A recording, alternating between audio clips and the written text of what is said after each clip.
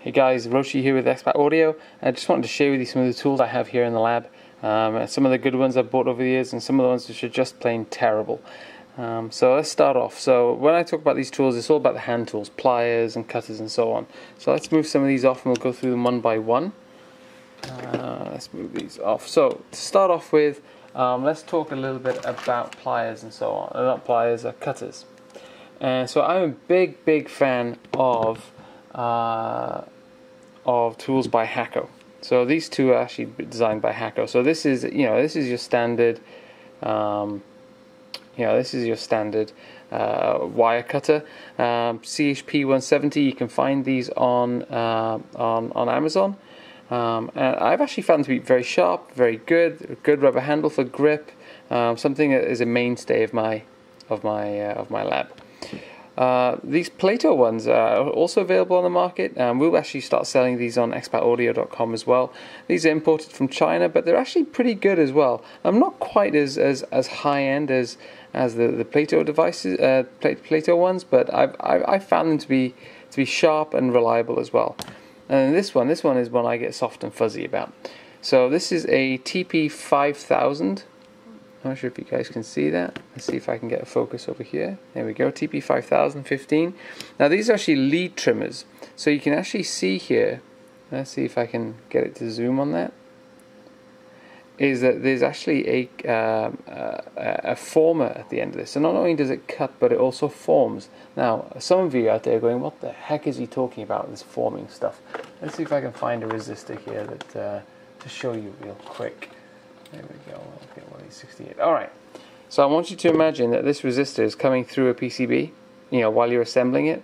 And typically, you would um, assemble it, and then uh, see if I can get this to focus. All right, that's better. So, and you, you know, if, if it was coming down to the PCB here, I would simply take my very nice Hakko cutters and snip. And the problem is, you know, I flip the PCB over to solder it, and the device falls out because there's nothing holding on to it. These trimmers, on the other hand, cut, and I'm not sure if you guys can see that, they put a little twist, they put a little bend. Come on. They put a tiny little bend in it as well so it actually holds holds it in. So it's awesome for capacitors. You know, if you're dealing with electrolytics and so on, you need them to stay in the board rather than just fall out. Um, great for those. Really, really great for those. So those are the kind of cutters and pliers. Let's have a quick look at uh, wire strippers real quick. So I have run the gamut of wire strippers over the years.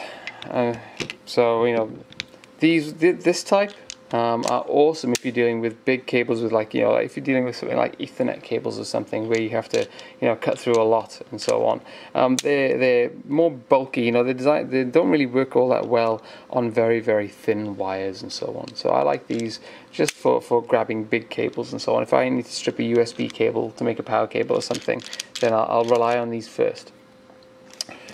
Now you know some of you have. Uh, dealt with these. These are the cheap sort of dollar store, pound shop types. Again, you know, the AWG, which is the uh, American wire gauge, the thickness of the wires, this is really designed for your local electrician, not for an electronics lab. We tend to work with stuff that's sort of 24 to 30 AWG, so this is going to be a bit of a um, bit of a non-starter, really. What I do like about these, though, I'm not sure if any of you really know what, what, what, what this dial or this wheel is for, but it's essentially, if you have, uh, these are for American screws, if the screw is too long, you can actually put the screw through here and with a lot of force cut the screw. So it's shorter so you can take a long screw make it shorter um, and it won't mess up all the uh, the threads and so on. So it's quite nice. I've done it on one or two times. Um, it took last time I did it it took a while to get it to get the screw out of the, the cutting hole but it's just something to bear in mind that having a tool like this is useful in your in your lab but really, um, you know, I wouldn't be using it on, on some of the thin wires that we, that we tend to use. And then, so, you know, this is a, I think this was a, a Home Depot wire stripper. Now, your AWG is up at 26, that's more like it. Um, pretty good, um, nothing really to write home about, you know, uh, but, you know, the jewel in the crown for me really Again, this is Hakko all over again. CSP-30-1. Um, this goes all the way up to 30 AWG, so it's going to be really, really tight and uh, very, very, very, you know, good, good to grip. It's kind of like a funny rubbery grip, which I really like, and just really, really easy to use. And finally, you know, um, for some, for those of you that um, trying to find an example of one here.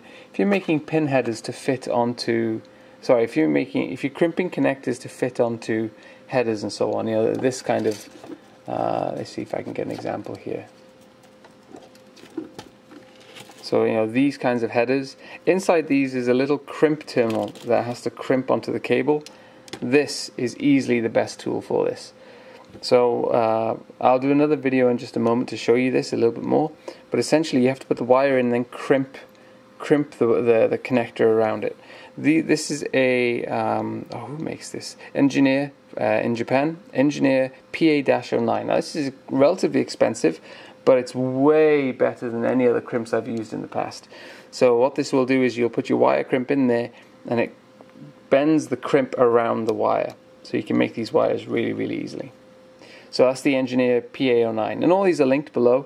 So, um, you know, if you like this and any of the videos that I've put together, then head on over to uh, to uh, uh, expataudio.com or you can uh, subscribe. The link is somewhere around here uh, uh, and come and join us. All right. Thanks, guys. Bye.